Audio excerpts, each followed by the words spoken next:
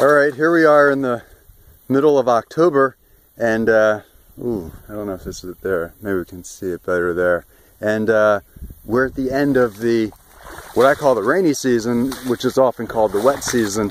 I like to call it the rainy season because it means our afternoon buildup of clouds, or at least sizable accumulation to uh, generate those afternoon storms, uh, has pretty much come to an end.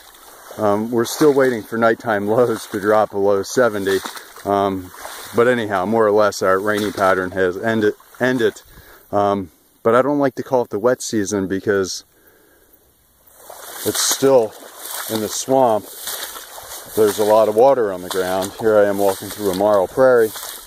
Um, there's some periphyton. That's exciting. See how clear the water is? So that's the difference between the rainy season and the wet season. You can hear the splash.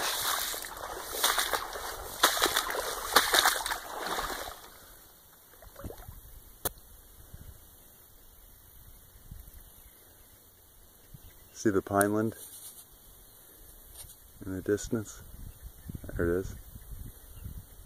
Uh, that'd be a far walk through the water.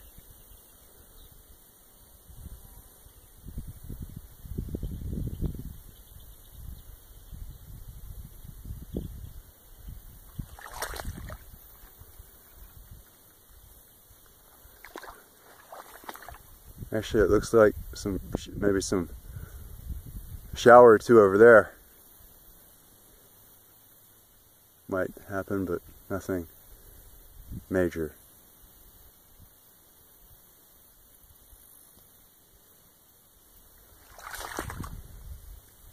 Thanks for watching.